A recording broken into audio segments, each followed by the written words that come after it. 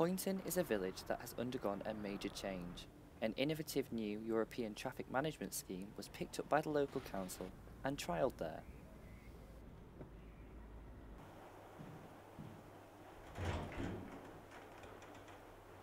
Yeah, so uh, my name is Malcolm Adams and I work for Poynton Town Council as Town Clerk. The role of Town Clerk uh, entails uh, running or helping to run the village on a day-to-day -day basis, uh, working with a team of 10 colleagues um, and just making sure that Poynton remains a safe and a pleasant environment for our residents to live in. Um, Poynton Shared Space System is, uh, is relatively new, although it has been around in Europe for some time.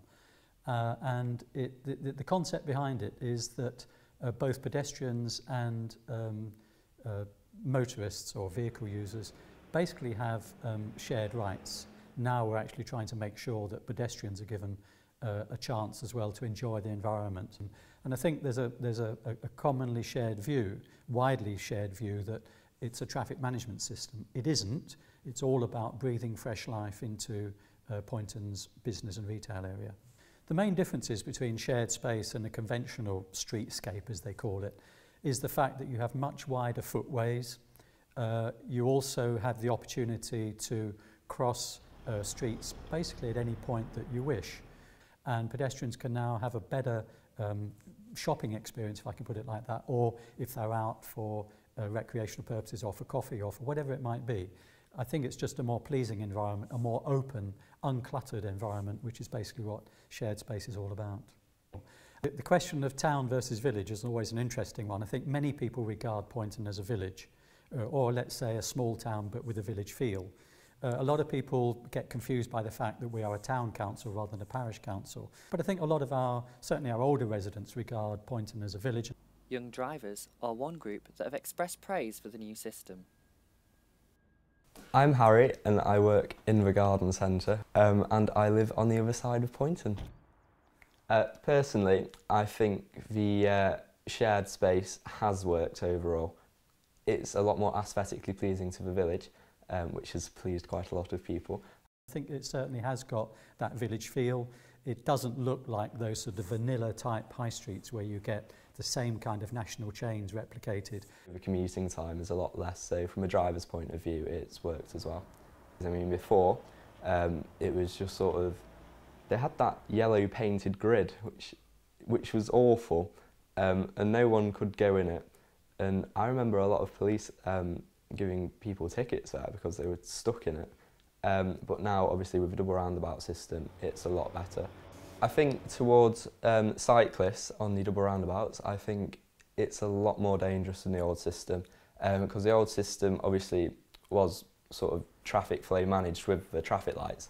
I think the shared space makes Poynton more of a village status because um, obviously towns like Stockport haven't got this system at all. The reception does seem to be generally positive, although many like Harry have acknowledged dangers to cyclists.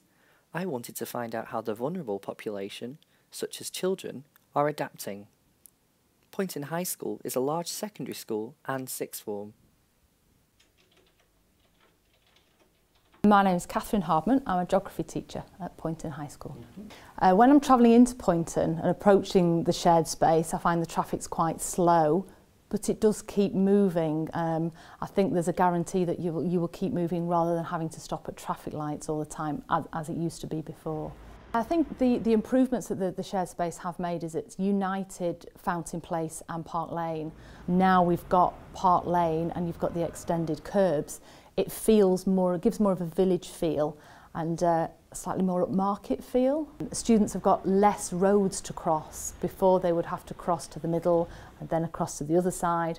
Uh, certainly when I've been doing surveys about how you travel to school with students, more of them walk to school than used to and they cut up Park Lane. I think the shared space could benefit. I think now people have got used to it. I think it should perhaps more uh, ex be extended perhaps towards more London Road.